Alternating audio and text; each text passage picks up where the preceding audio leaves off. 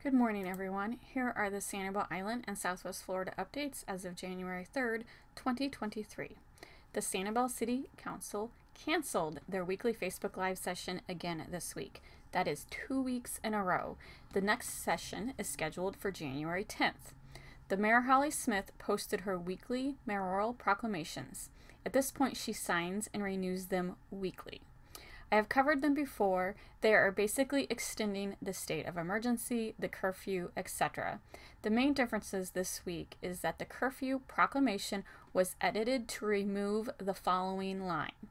To best ensure only those with a proper purpose are on the island, all individuals within the city of Sanibel's legal boundaries are required to have in their possession and produce on request a 2021 or 2022 Sanibel Hurricane Pass or a government issued identification with a Sanibel address or otherwise be accompanied by an individual with such credentials. That line was stricken out. In other words, hurricane passes are no longer required to be on the island. They also amended the beach closure proclamation. It reads as follows Based upon potentially dangerous storm related debris on the beaches and in the waters adjacent to the beaches, all public beach parking within the city of Sanibel is closed to all those other than Sanibel residents.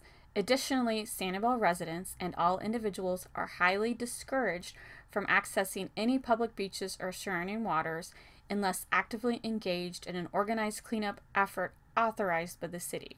The city struck out the wording Sanibel residents. It was mentioned twice in that proclamation. In other words, Sanibel residents are allowed to walk the beach, which they have been anyway. On a side note, if you are staying on a hotel on Sanibel or Captiva that sits on the beach, yes, you can walk the beach area surrounding the hotel. Same goes for if you are renting a house or a condo on the beach. Yes, you can walk the beach area in front of the house you are renting. For the amending pool and spa dewatering regulation, the city added the line to avoid prohibited runoff. The speed of dewatering shall be at a rate slow enough to allow all water to percolate down through the owner's property on which the pool or spa is being dewatered. Silt fences with sorbent booms or socks are recommended to help facilitate proper dewatering. End quote. If you are not familiar with what I am talking about, it is illegal to drain your pool if the water is going into your neighbor's yard or the city's storm drain system. This is an ongoing issue that I just shake my head at. If you are a pool owner, you should know how to clean your pool without flooding your neighbor's yard or backing up the storm drains. Common sense is apparently not common when it comes to pool maintenance.